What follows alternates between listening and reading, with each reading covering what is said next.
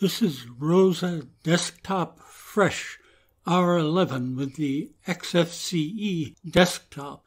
It's also available with KDE4, KDE Plasma, and the LX Qt desktops.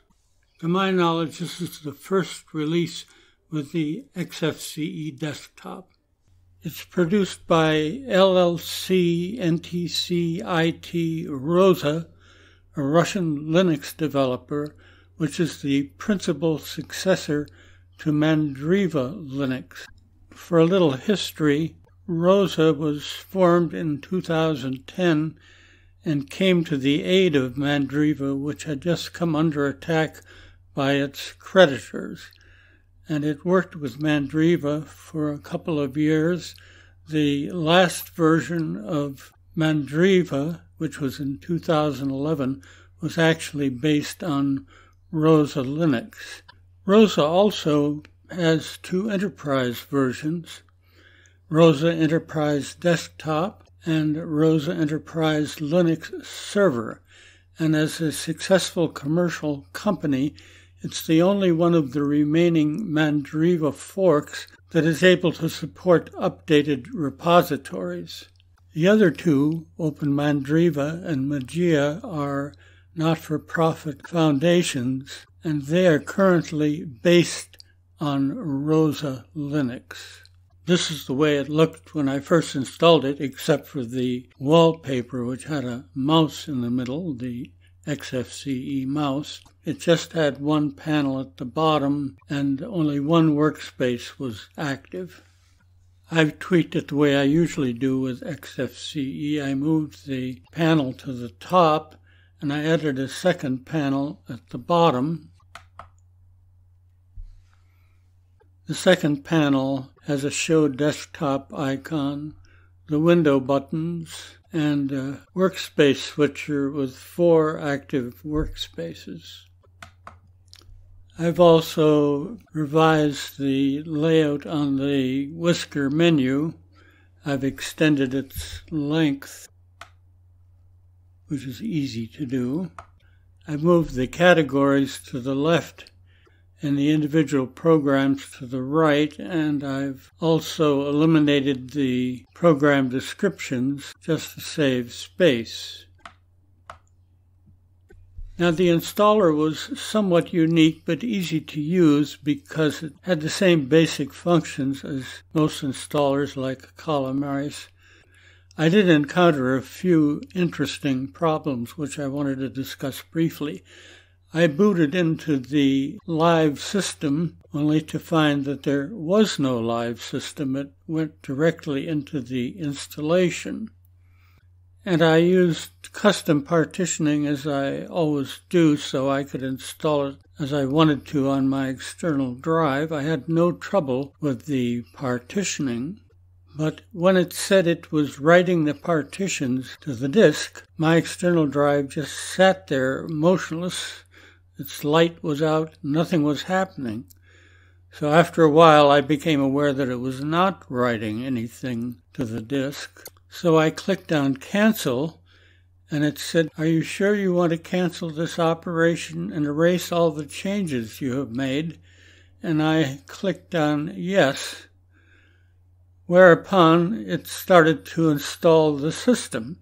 A little different outcome than I expected. However, it all turned out well. The installation went quite quickly and the installation works perfectly. Now let me just take a quick look at what's on the menu. I'm going to start with accessories here. It has an alarm clock, application finder, bulk rename, calculator, clipman, configure graphics card, disks, help. It says get help with GNOME, but in this case I would be looking for help with XFCE. Install remove software, which is RPM Drake in this case, a menu editor, mousepad, notes, passwords and keys, Qt5 file system archiver, Recoll, find documents by specifying search terms, run program, screenshot, sensor viewer, services configuration, still have to scroll down a little bit here. Task Manager, Thunar File Manager, and Xarchiver. Under games, it has Isle Riot, Solitaire, and Zaz. Of course, you can install more. Under graphics, it comes with GIMP version 2.10, Ristretto Image Viewer, and XSane Scanning. Under Internet, it comes with Chromium Web Browser, Deluge, my favorite BitTorrent client, Geany, which is a text editor aimed at developers, and UGET, which is a way of downloading multiple URLs. Under multimedia, it has Audacious, Brasero, Cheese, Pulse Audio Volume Control, QWinFF, convert between media file formats, Rosa Media Player, and I added Simple Screen Recorder. Let me just say that when I tried to install Simple Screen Recorder with RPM Drake, I got an error message, but I was able to install it with urpmi, the command line interface, without any problems whatsoever. Under Office, it has the Atril Document Viewer, Dictionary.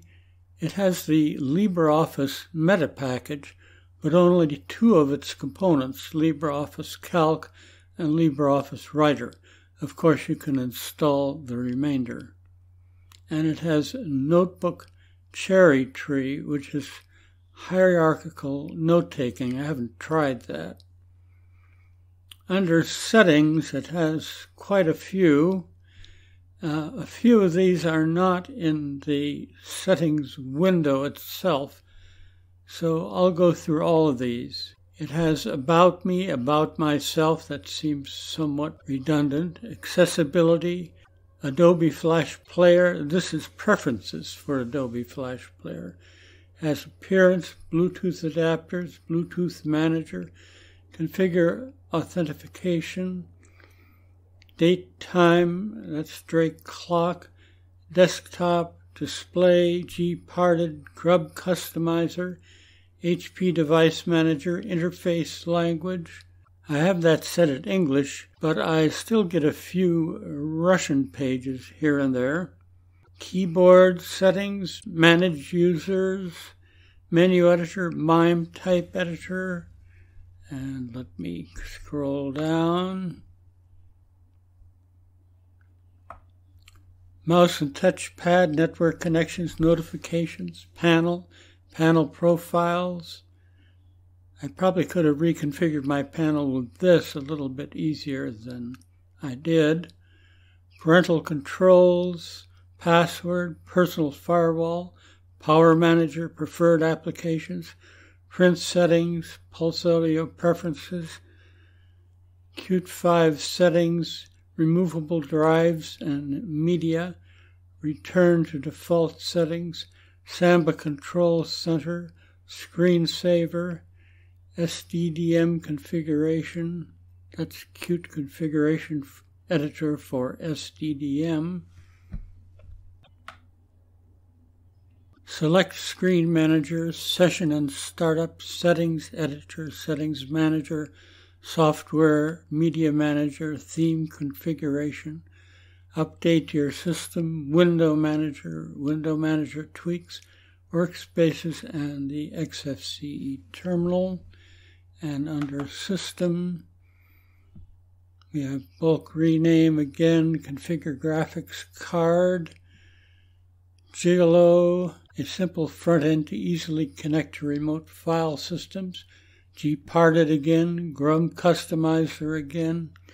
All of these XFCE menus seem to have a lot of duplication in them, and I think they would all benefit from a little culling. Hardware Central Configuration Information Tool, HP Device Manager, Print Settings, Proxy Settings, Pulse Audio Preferences, again, Rosa Freeze, uh, freeze your system before experiments. Rosa Image Writer, SDDM configuration, again, sensor viewer, services configuration, task manager, Thunar File Manager, XFCE Terminal, all again. So let me take a look at the hardware configuration tool. I'm going to have to enter my password.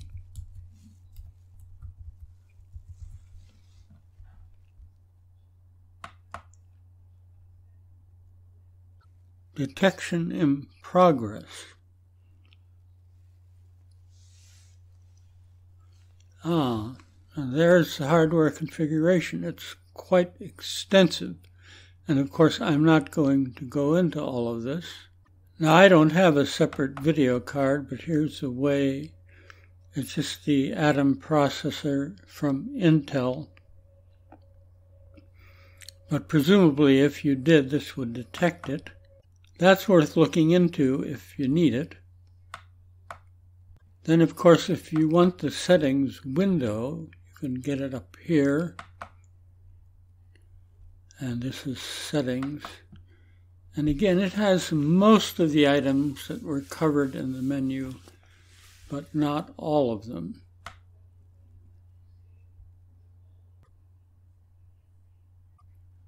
Now, under Appearance, I haven't really changed much except for the desktop background. This comes with the Vertex Light Respro style, and you have quite a few, as you often do with XFCE.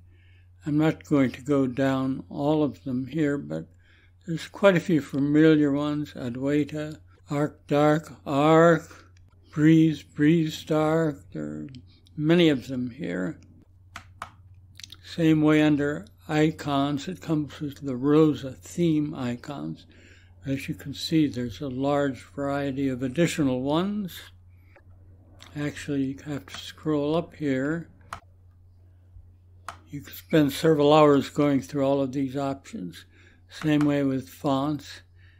And with settings,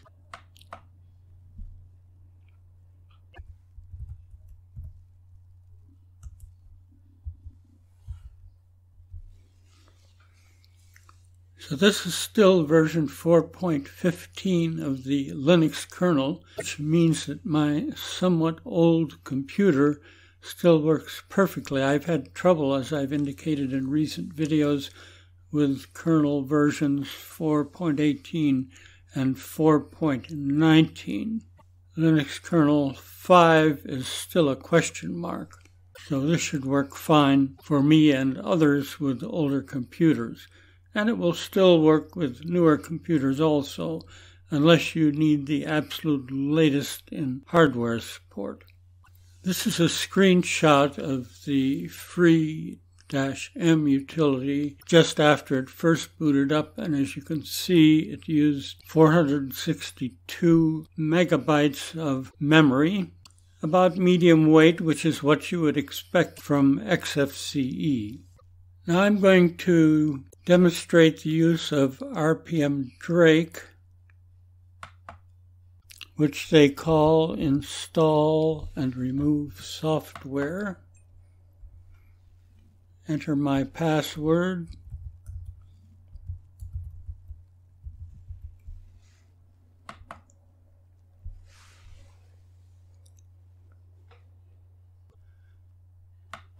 I'm going to install some missing components of LibreOffice.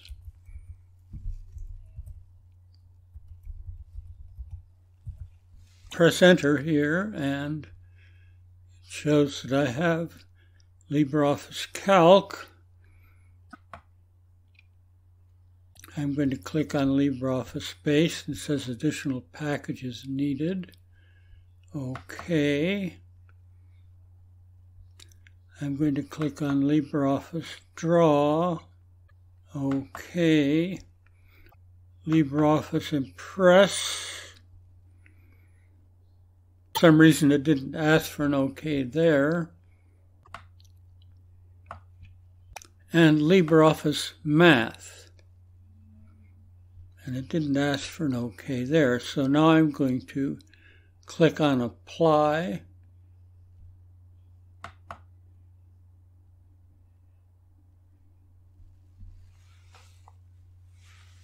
And it wants confirmation, so I'm going to click on yes. So now it tells me to please wait, it's downloading packages.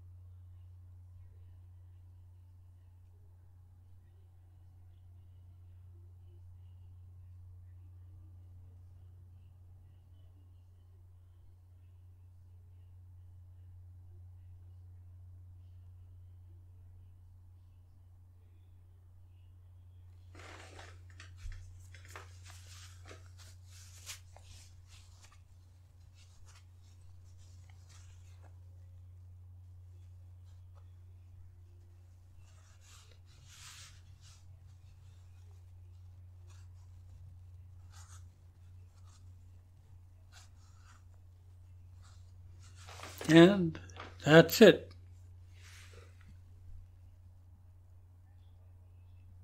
Now it's initializing. Please wait finding available packages.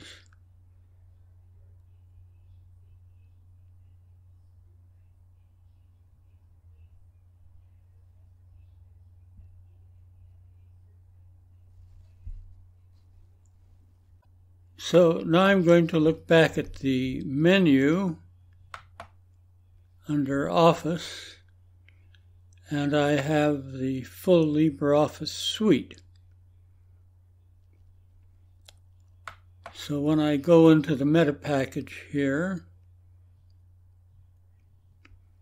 they're now all available. When I click on Help,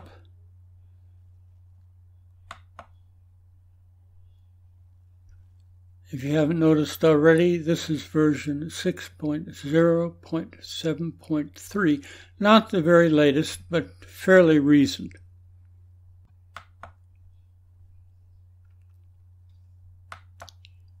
I didn't go into backgrounds, but you can right click on the desktop and go to Desktop Settings. And here you have several backgrounds